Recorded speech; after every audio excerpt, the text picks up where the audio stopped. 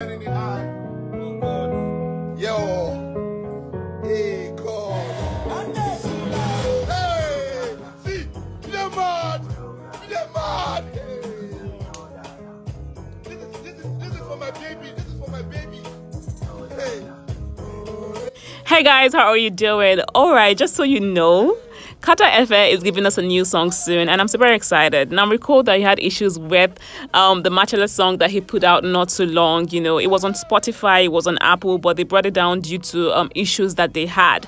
Now, that song did pretty well. As a matter of fact, he revealed that Wizkid gave him 10 million naira, you know, for the video of that song. And when it was put down, people were like, is it Berri Tiga that caused it, or is it Wizkid that told them to put it down? People were just really confused. I feel like people are still confused now, but that's not the case for today because um, Carter Efe has revealed that a new song is coming out. He sampled it right here with like other people around him. Now I feel like um, Carter Efe is just known for hyping songs, making songs really popular.